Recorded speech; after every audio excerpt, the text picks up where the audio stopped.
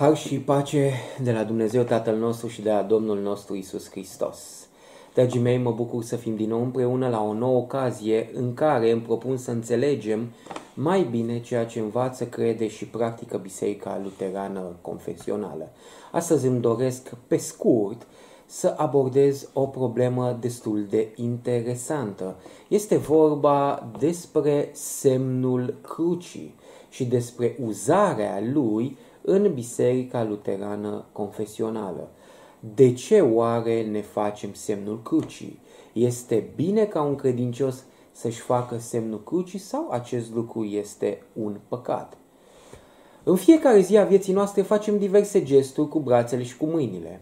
De la un simplu salut prietenesc adresat celor care sunt prezenți zi de zi în viața noastră, până la o strângere de mână caldă, un gest de bun venit pentru cei nou veniți. Gesturile sunt utilizate de către creștinii luterani pentru a-și mărturisi credința lor în Dumnezeu. Există un gest distinct folosit de către creștini de mai bine de 2000 de ani și acesta este semnul crucii făcut cu mâna în dreptul corpului, adică acest semn. Din punct de vedere istoric, semnul crucii a fost menționat pentru prima dată de către teologul care puta numele Tertulian, un teolog de la începutul bisericii, mai precis undeva în jurul anului 180 după Hristos, adică la mai puțin de 150 de ani de la moartea, învierea și înălțarea Domnului nostru Isus Hristos. În serviciul divin din bisericile luterane confesionale sunt câteva ocazii mari în care credincioșii și păstorul folosesc semnul crucii, acesta putând fi făcut de către oameni în amintirea botezului lor, în invocarea Sfintei Trăimi, uh, în dezlegarea păcatelor, după spunerea crezului, la Sfânta Cină și la binecuvântarea finală. Catehismul mic al lui Martin Luther indică spre utilizarea semnului crucii în rugăciunea de dimineață, în rugăciunea de seară și de asemenea în rugăciunile care se spun la masă.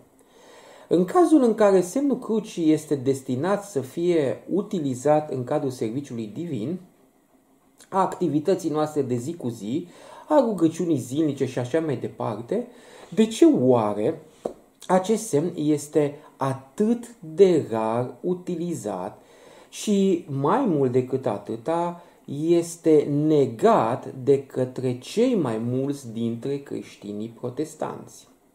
Evident, unii creștini protestanți iau în considerare semnul crucii ca fiind o practică romano-catolică sau o practică aparținând bisericilor ortodoxe răsăritene și în consecință, din perspectiva lor, tot ceea ce este romano-catolic și tot ceea ce este uh, ortodox răsăritean trebuie evitat în totalitate.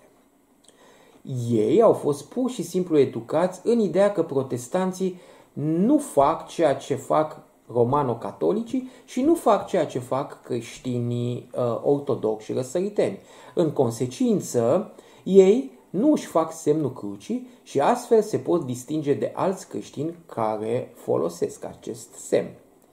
Este foarte adevărat că Martin Luther și alți reformatori luterani au condamnat în mai multe rânduri practicile false ale bisericii din timpul reformei. Dar aceștia nu au condamnat și nu au abandonat niciodată ceea ce biserica medievală practica în conformitate cu învățătura Scripturii. Așadar, Martin Luther și alți reformatori luterani nu au condamnat niciodată și nu au abandonat niciodată utilizarea semnului crucii. Deoarece a-ți face semnul crucii nu este un păcat și nu este nici de cum împotriva cuvântului lui Dumnezeu.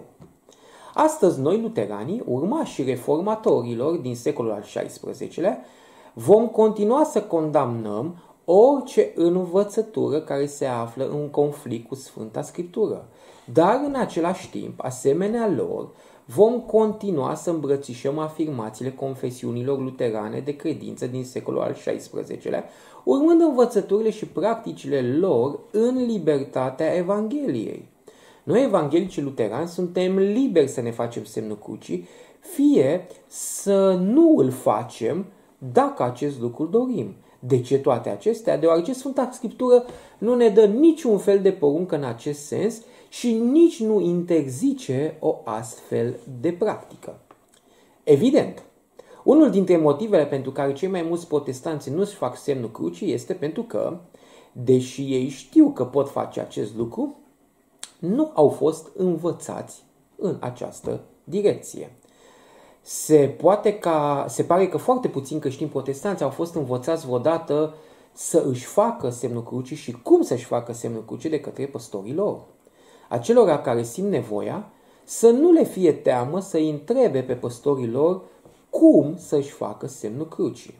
Dragii mei, personal nu cred sub nicio formă că este important dacă ne facem semnul crucii de la stânga la dreapta sau de la dreapta la stânga. De exemplu, uh, creștinii romano-catolici fac semnul crucii de la dreapta la stânga. De la stânga la dreapta. Creștinii uh, ortodoxi își fac de la dreapta la stânga.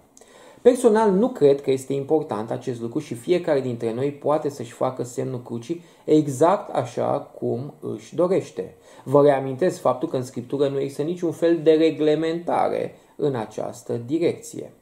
Ceea ce vreau eu însă să întăresc este faptul că nu ar trebui să ne fie rușine cu pietatea noastră ă, creștină, ci în credință și iubire să facem toate lucrurile în mod decent și plăcut lui Dumnezeu. Noi, evanghelicii luterani, ne facem semnul crucii în închinarea noastră liturgică cu un gest care ne amintește, ca un gest care ne amintește de botezul nostru în Hristos. Amintiți-vă că la botezul dumneavoastră ați fost marcați cu crucea pe frunte și apoi pe inimă, ca niște oameni răscumpărați de Hristos cel răstignit și înviat. Biserica noastră învață faptul că Isus Hristos a murit pentru păcatele noastre pe cruce și ne oferă darul vieții veșnice, iertarea păcatelor și mântuirea veșnică.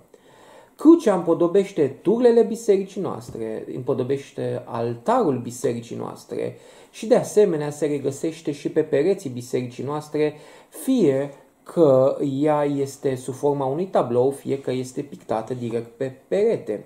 De ce nu ar trebui să împodobească crucea lui Hristos și templul Duhului Sfânt care este trupul nostru? Este o mărturisire frumoasă și un memento pentru faptul că am fost botezați în numele lui Dumnezeu cel atotputernic, Tatăl, Fiul și Duhul Sfânt. În această minunată mărturisire, care constă în semnul crucii, trebuie să trăim fiecare dintre noi, exact așa cum îl iubim pe Dumnezeu și pe aproapele nostru cu credință și prin practicarea de fapte bune. Noi murim față de păcat atunci când mărturisim păcatele noastre și primim iertarea lor, întorcându-ne astfel la botezul nostru în fiecare zi. În acest fel, Sfânta Cruce pe care noi ne facem, nu face altceva decât să ne întoarcă în continuu la botezul nostru. Așadar, pentru că Sfânta Cruce nu, semnul crucii nu este nici interzis, nici poruncit de către Sfânta Scriptură, aș vrea să nu uitați faptul că acest, utilizarea acestui semn în Biserica Luterană este un subiect adiafora, adică este unul de importanță secundară. Biserica Luterană nu va face niciodată o doctrină din uzarea acestui semn al crucii. Doar că învață cât de minunată este această ocazie pe care o avem de a ne mărturisi credința noastră în Domnul nostru Isus Hristos.